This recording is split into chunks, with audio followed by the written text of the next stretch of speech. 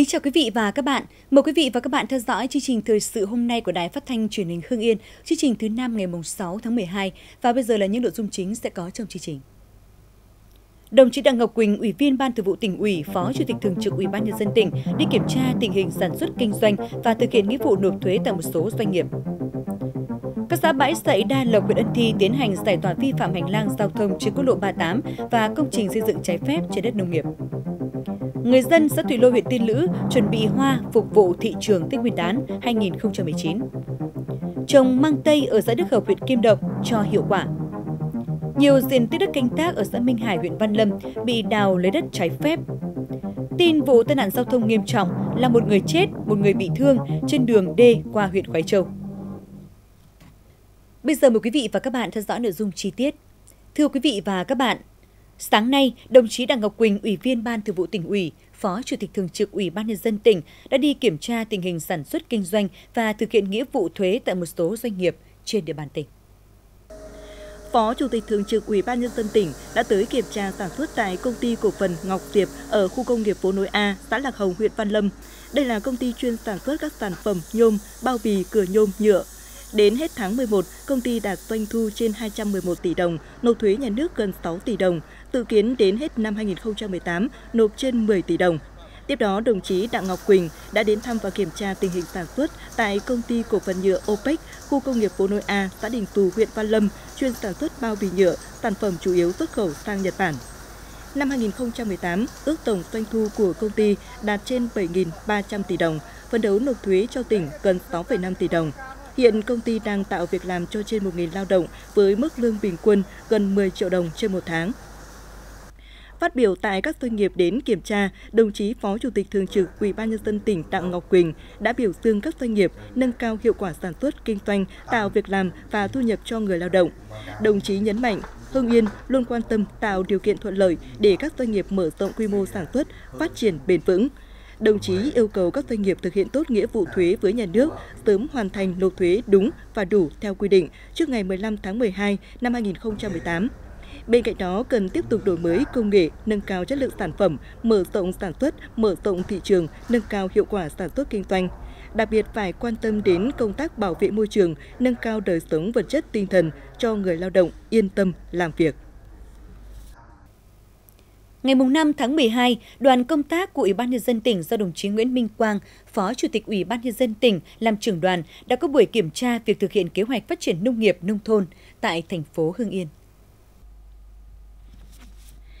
Đến nay, thành phố Hưng Yên đã hình thành được nhiều mô hình trang trại, gia trại, vùng sản xuất chuyên canh tập trung theo hướng sản xuất hàng hóa với những cây trồng có giá trị kinh tế cao như vùng chuyển đổi cây nhãn chủ lực, vùng chuyển đổi chuyên canh trồng cam, vùng chuyển đổi chuyên canh trồng chuối và trồng rau an toàn. Trong đó, vùng sản xuất nhãn theo tiêu chuẩn Việt Gáp được trên 110 ha, cam là 32 ha. Toàn thành phố đã thành lập được 28 hợp tác xã hoạt động trong lĩnh vực nông nghiệp,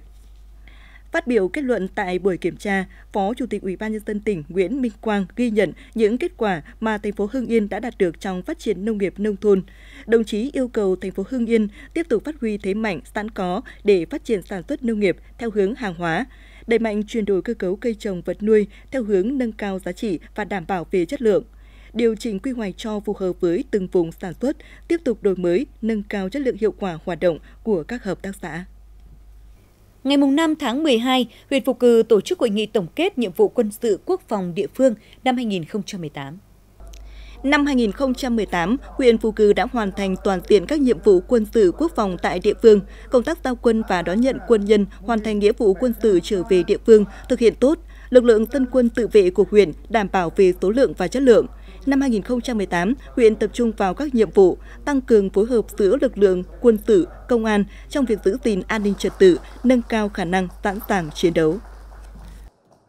Sáng nay, Tổng Liên đoàn Lao động Việt Nam tổ chức hội nghị trực tuyến học tập quán triệt nghị quyết Đại hội Công đoàn Việt Nam lần thứ 12 và nội dung hội nghị Trung ương 8 khóa 12.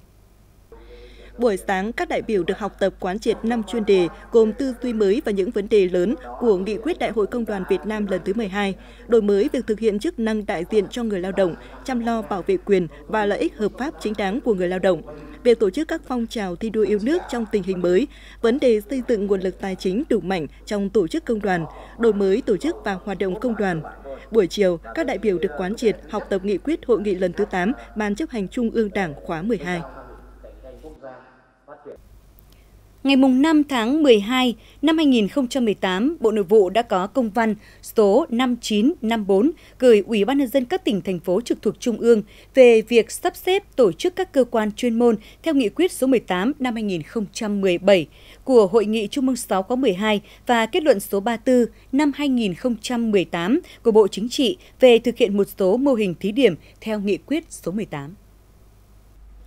Để triển khai thực hiện nội dung này, Bộ Nội vụ đã xây dựng dự thảo nghị định quy định tổ chức các cơ quan chuyên môn thuộc Ủy ban nhân dân cấp tỉnh và dự thảo nghị định quy định tổ chức các cơ quan chuyên môn thuộc Ủy ban nhân dân huyện, quận, thị xã, thành phố trực thuộc tỉnh, thành phố thuộc thành phố trực thuộc trung ương để trình chính phủ và báo cáo Ban cán sự Đảng Chính phủ để trình Bộ Chính trị cho ý kiến một số nội dung liên quan đến khung số lượng cơ quan chuyên môn, tiêu chí thành lập tổ chức, biên chế tối thiểu, số lượng cấp phó tối đa của một tổ chức hành chính ở địa phương, làm cơ sở để phân cấp cho chính quyền địa phương, quyết định sắp xếp tổ chức các cơ quan chuyên môn thuộc Ủy ban nhân dân cấp tỉnh, cấp huyện theo hướng tinh gọn, hoạt động hiệu lực, hiệu quả.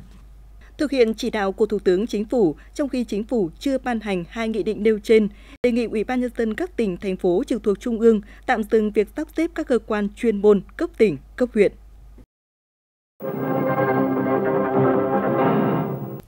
Mời quý vị và các bạn theo dõi tiếp chương trình thời sự. Thưa quý vị và các bạn, ngày 5 tháng 12, xã Bãi Sậy, huyện Ân Thi tổ chức giải tỏa công trình kiến trúc và các tài sản khác trên đất trong phạm vi hành lang giao thông quốc lộ 38 và hỗ trợ thi công thực hiện dự án quản lý tài sản đường bộ Việt Nam đối với hộ ông Phạm Huy Dòng và bà Trần Thị Diệu ở thôn Trại Giáo.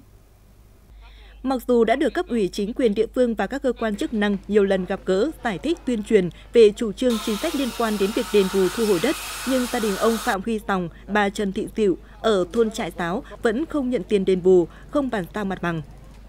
Để đảm bảo tiến độ thi công, thực hiện nghiêm các quy định của pháp luật, xã Bãi Sẩy đã tiến hành giải tỏa các vi phạm hành lang giao thông quốc lộ 38 và hỗ trợ thi công thực hiện dự án quản lý tài sản đường bộ Việt Nam việc giải tỏa hỗ trợ thi công diễn ra đúng quy định của pháp luật. Cũng tại huyện Ân Thi, từ đầu năm đến nay, xã Đà Lộc đã cưỡng chế xử lý 5 công trình xây mới trên đất 03 với diện tích từ 15 đến 18 m2. Các hộ trên dù đã được nhắc nhở lập biên bản nhưng vẫn cố tình lén lút xây dựng trong đêm. Mới đây nhất, vào ngày 5 tháng 12, Ủy ban nhân dân xã Đà Lộc đã tiến hành cưỡng chế tháo rỡ công trình của bà Đặng Thị Sớm và ông Nguyễn Văn Trò. Đây là hai trường hợp vi phạm mới nhất đã được Ủy ban nhân dân xã Đà Lộc kiên quyết cưỡng chế tháo rỡ. Trong thời gian tới, Ủy ban nhân dân xã Đà Lộc tiếp tục tuyên truyền phân công các tiểu ban bám sát tình hình, tránh trường hợp tái phạm và xử lý nhanh các trường hợp vi phạm mới, đồng thời đến tận nhà vận động những hộ dân nằm trong danh sách vi phạm tự nguyện tháo rỡ công trình. Thưa quý vị và các bạn, từ cuối năm 2017, nhiều hộ dân thôn Khách, xã Minh Hải, huyện Văn Lâm phản ánh về việc trưởng thôn Khách đã cho đào đất bặt ruộng, khiến cho hàng chục mẫu đất nông nghiệp của hơn 30 hộ dân thành ruộng trũng không còn khả năng trồng trọt. Tại các xứ đồng mạch quan, đường dọc, khúc vậy trong, khúc vậy ngoài, dầu, trịnh, nhiều diện tích ruộng canh tác của nhân dân đã bị múc mất bờ, nước tràn mênh mông, không thể trồng lúa hay sản xuất hoa màu. Lý giải về việc này, ông Lê Xuân Trường, trưởng thôn Khách cho rằng để xảy ra tình trạng đất canh tác bị biến dạng là do thời gian qua, hộ ông Đỗ Văn Bang đấu thầu tại khu vực này để làm trang trại đã tự ý thuê lại ruộng của các hộ dân bỏ canh tác tại đây để mở rộng diện tích trang trại. Tuy nhiên, khi được hỏi vậy đất bị múc lên được chuyển đi đâu thì ông Trường không lý giải được. Theo lãnh đạo xã Minh Hải, ngay sau khi phát hiện sự việc, chính quyền địa phương đã phối hợp với cơ quan chức năng của huyện Văn Lâm xuống hiện trường lập biên bản. Địa phương khẳng định đây là việc làm trái quy định. Được biết, xã đang có chủ trương lập kế hoạch để xin chuyển đổi các diện tích trồng lúa kém hiệu quả sang trồng cây hàng năm và làm trang trại. Tuy nhiên, đây mới chỉ là ý tưởng của địa phương, chứ chưa có bất cứ văn bản nào chỉ đạo thôn và trưởng thôn khách đã tự ý cho hộ cá nhân đào đất để thực hiện chuyển đổi tất cả những cái trường hợp mà thôn mà cứ tự ý mà làm là chúng tôi đều phải có ý kiến dừng lại và nếu như sai thì sẽ xử lý theo quy định. Thế và đặc biệt là cái việc mà mà các cái diện mà uh, chưa được chuyển đổi mà tự ý làm và nó không nằm trong quy hoạch thì cái đó là chúng tôi cũng cương quyết là không để cho tình trạng xảy ra. vì nó còn liên quan đến các cái quy hoạch khác ví dụ như là công nghiệp hoặc cụm công nghiệp do vậy nếu như bây giờ chúng ta mà đưa cái đó nó không đúng vào thì sau này cái chính cái việc mà giải phóng bằng ấy, tạo điều kiện cho các doanh nghiệp cũng như là cụm công nghiệp ờ, khu nghiệp nó sẽ khó khăn do vậy cái việc đó chúng tôi thường xuyên giả soát và không để cố gắng không để cái tình trạng xảy ra Việc làm biến dạng mặt ruộng ảnh hưởng đến lượng chất dinh dưỡng trong đất, thay đổi địa hình, địa chất của đất. Điều này sẽ gây ảnh hưởng trực tiếp đến sức khỏe của cây trồng. Hành vi làm biến dạng mặt ruộng ở thôn Khách, xã Minh Hải là hành vi hủy hoại đất, vì vậy rất cần sự vào cuộc của các cơ quan chức năng huyện Văn Lâm nhằm xử lý nghiêm tập thể cá nhân để xảy ra sai phạm.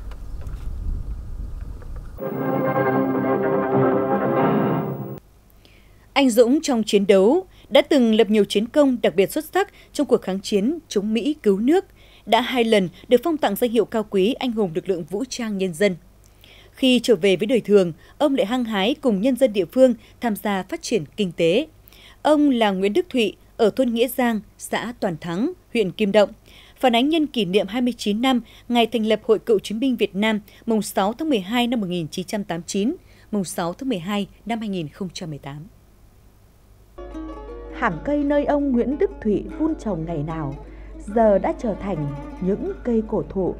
che bóng mát cho dân làng. Con mương này trước đây ông và hội cựu chiến binh đã phát động phong trào đảo mương, lấy nước tưới tiêu, đắp nấm trồng cây. Trên cánh đồng tươi tốt này cũng đã ghi dấu ấn của người cựu chiến binh đã tiên phong, mở lối, nhận thí điểm trồng giống lúa mới để người dân làm theo từng vào sinh ra tử trên chiến trường với nhiều thành tích xuất sắc. Nhưng về với đời thường, vinh quang đó ông chỉ dành cho những phút nhớ về đồng đội, còn bao tâm sức ông nỗ lực vì người dân, vì công cuộc đổi mới, phát triển của quê hương. Năm 1967, khi cuộc kháng chiến chống Mỹ ở giai đoạn ác liệt, chàng thanh niên Nguyễn Đức Thụy tròn 18 tuổi sung phong nhập ngũ và được tuyển chọn vào đơn vị đặc công nước. Sau một năm huấn luyện tại Hải Phòng, anh lính trẻ Nguyễn Đức Thủy theo đoàn tàu không số vào chiến trường miền Nam chiến đấu. Trải qua 21 năm quân ngũ, trong đó có 9 năm trực tiếp đánh Mỹ ở miền Đông Nam Bộ. Ông còn tham gia chiến đấu giúp nước bạn Campuchia từ năm 1976 đến năm 1979 và bảo vệ biên giới phía Bắc từ năm 1979 đến năm 1988 về nghỉ hưu. Riêng trong 9 năm đánh Mỹ, ông đã trực tiếp đánh trên 100 trận, nhiều lần được đơn vị truy điệu sống cho ông trước khi vào trận đánh. Ông đã cùng đồng đội đánh chìm 9 tàu chiến Mỹ, trong đó có một chiến hạm nổi với 17 lần bị thương. Hiện ông là thương binh với 61% thương tật. Trong rất nhiều danh hiệu được tặng thưởng, 14 lần ông là chiến sĩ thi đua cấp cơ sở đến toàn quân, được Đảng, Nhà nước tặng thưởng nhiều huân chương bằng giấy khen các loại. Năm 1973, ông vinh dự được Đảng và Nhà nước phong tặng danh hiệu Anh hùng lực lượng vũ trang nhân dân. Giải phóng lần thứ nhất, năm 1976, ông được phong tặng danh hiệu Anh hùng lực lượng vũ trang nhân dân lần thứ hai. Có một trận chiến đấu mà tôi cảm thấy mãi mãi không bao giờ quên được trong nghề đánh nước. Cái đánh nước thì vô cùng vất vả, đặc công rừng sát vô cùng vất vả rồi. Sống như con lươn có trạch dưới biển, dưới nước. Nhưng mà khi đánh nó ừ, một cái cực kỳ nguy hiểm mà lúc thủy chiều khi ta đánh nó nhiều trận, chúng rút lui hết, toàn bộ ban ngày chúng mới vào cảng. Còn ban đêm chúng chuồn ra ngoài biển khơi minh bông thế thì làm sao ta ra? Ta người không như thế này, không gì hết, chỉ quần slip mới trang thiết bị vũ khí mà bơi ra ngoài biển khơi mênh mông ra ngoài pháo số không mà đánh nó được, đúng không? Nhưng đơn vị tôi, phải làm. Cả tuổi thanh xuân cống hiến cho sự nghiệp giải phóng dân tộc, trở về với ruộng vườn bình dị. Với anh hùng Nguyễn Đức Thủy vẫn luôn mong muốn góp sức của mình, cùng đồng chí đồng đội xây dựng quê hương ngày càng giàu mạnh. Theo kế hoạch, năm 2018, huyện Quái Châu được tỉnh giao cấp gần 20.000 giấy chứng nhận quyền sử dụng đất lần đầu. Trong đó, trên 50% là đất nông nghiệp, nhưng đến nay mới có trên 2.000 giấy được cấp, tương đương với gần 10% kế hoạch. Hầu hết các xã thuộc huyện Khói Châu có tỷ lệ cấp giấy chứng nhận đạt thấp và cùng có nguyên nhân là do số liệu đo đạc của dự án Vilab bị sai lệch nhiều. Đối với đất ở, đa số các hộ dân đang sử dụng đất giao trái thẩm quyền đều không mặn mà do không còn phiếu nộp tiền nên phải nộp thêm. Việc chứng minh nguồn gốc đất còn nhiều phức tạp nhiều thửa đã được mua bán sang nhượng nên bị chia cắt thành nhiều thửa nhỏ nhưng nay không còn lưu giữ được thủ tục giấy tờ. Đối với đất nông nghiệp, nhiều diện tích sau dồn ô đổi thửa chưa được chỉnh sửa trên bản đồ, nhiều hộ đã tự đổi sang nhượng cho nhau. Để khắc phục được khó khăn này, cùng với việc tăng cường tuyên truyền để các hộ hiểu rõ về quyền lợi nghĩa vụ của mình, thì rất cần có sự chỉ đạo sát sao của cơ quan chuyên môn hướng dẫn các địa phương giả soát phân loại, xử lý theo từng trường hợp cụ thể. Thời điểm này, các hộ trồng hoa ở xã Thụy Lôi, huyện Tiên Lữ đang tích cực mở rộng diện tích trồng và chăm sóc hoa để phục vụ thị trường Tết Nguyên đán kỷ hợi đang đến gần. Hiện nay, toàn xã Thụy Lôi có trên 60 hộ trồng hoa với tổng diện tích gần 10 ha, tập trung nhiều ở thôn Thụy Dương và thôn Lệ Chi. Các giống hoa được trồng chủ yếu như hoa cúc, salem, violet, hoa loa kèn, hoa ly các loại. Theo các nhà vườn trồng hoa ở đây cho biết, hoa Tết từ ngày xuống giống tới khi được thu hoạch mất 2,5 đến 3 tháng. Năm nay thời tiết thuận lợi nên đến thời điểm này hoa đang sinh trưởng và phát triển tốt, sáng hoa đẹp. Nhờ kỹ thuật chăm sóc cùng sự khéo léo của bà con nông dân nên hàng năm các diện tích hoa ở xã Thụy Lôi đều được thương lái đến thăm và đặt mua sớm với giá cao, mang lại thu nhập khá cho người dân nơi đây. Nhiều hộ trồng với diện tích lớn đều cho thu lãi từ 100 đến 300 triệu đồng một năm như gia đình ông Trần Văn Tú ở thôn Thụy Lôi, ông Nguyễn Thế Tuân ở thôn Lệ Trì. Qua tìm hiểu, nhận thấy cây măng tây đem lại hiệu quả kinh tế cao, chị Nguyễn Thị Thuật ở thôn 2, xã Đức Hợp, huyện Kim Động đã đầu tư trồng và mở rộng diện tích. Tháng 3 năm 2017, chị Thuật trồng thử nghiệm 6 sào măng tây trên cánh đồng Thanh Mai Nga của xã Song Mai. Diện tích ruộng của gia đình chị mua lại phục vụ sản xuất. Qua một năm thu hoạch, nhận thấy hiệu quả cây măng tây đem lại lợi nhuận cao. Đầu năm nay chị đã mở rộng diện tích lên 2 mẫu. Chị cho biết trung bình mỗi năm thu hoạch 8 tháng, một năm mang cho sản lượng hơn 3 tấn sản phẩm. Măng được xuất cho thương lái Hà Nội với giá bán 120.000 đồng một kg. Trừ chi phí, mỗi năm chị thu lãi trên 300 triệu đồng. Tại huyện Yên Mỹ, hiện có một số điểm tập kết rác thải gần khu dân cư gây ô nhiễm môi trường và ảnh hưởng tới đời sống cũng như sức khỏe của người dân. Các điểm tập kết rác thải trên quốc lộ 39 qua các xã Trung Hưng, Tân Lập, thị trấn Yên Mỹ tồn tại từ nhiều năm nay. Điều đáng nói, hầu hết đều nằm gần khu dân cư, không chỉ cản trở giao thông, mùi hôi thối bốc lên nồng nặc đã và đang ảnh hưởng rất lớn tới đời sống cũng như sinh hoạt của người dân. Tại điểm tập kết rác thải của xã Trung Hưng, có hàng chục xe chở rác được tập kết tại đây, chủ yếu là rác thải sinh hoạt do để ứ động lâu ngày, không đủ xe chứa nên rác được đổ ra cả lề đường, gây mất an toàn giao thông. Sáng nay, trên đường D thuộc địa bàn xã Bình Minh, huyện Quế Châu đã xảy ra vụ tai nạn giao thông nghiêm trọng, là một người chết và một người bị thương. Theo người dân cho biết, vụ tai nạn xảy ra vào khoảng 5 giờ sáng. Nạn nhân là vợ chồng anh Nguyễn Văn Phan và chị Nguyễn Thị Tuy ở xã Tứ Dân, huyện Khói Châu. Vụ tai nạn khiến chị Tuy sinh năm 1963 chết luôn tại chỗ, anh Phan bị thương. Theo điều tra ban đầu của Công an huyện Quái Châu, vào thời điểm xảy ra tai nạn, vợ chồng anh Phan Chị Tuy đi xe máy biển số 89A 01500 di chuyển hướng Hà Nội Hưng Yên, bị xe ô tô đi cùng chiều đâm từ phía sau. Sau tai nạn, xe ô tô đã bỏ trốn khỏi hiện trường. Hiện cơ quan chức năng đang tiếp tục điều tra làm rõ nguyên nhân vụ tai nạn và truy tìm xe ô tô bỏ trốn khỏi hiện trường. Quý vị và các bạn thân mến, trong chương trình Thời sự ngày mai của Đài Phát thanh Truyền hình Hưng Yên, ngoài các tin tức thời sự diễn ra trong ngày, chương trình sẽ có những nội dung đáng chú ý sau. Ông Đông, xã Hùng Cường, thành phố Hưng Yên, thu nhập cao từ trồng gần một mẫu hoa hồng Pháp. Hiệu quả phong trào đổi mới dạy và học tại trường trung học phổ thông Triệu Quang Phục, huyện Yên Mỹ. Tủ sách gia đình ở thôn Tần Tiến, xã Minh Tân, huyện Phù Cử thu hút nhiều người đọc. Kính mời quý vị và các bạn cùng chú ý theo dõi.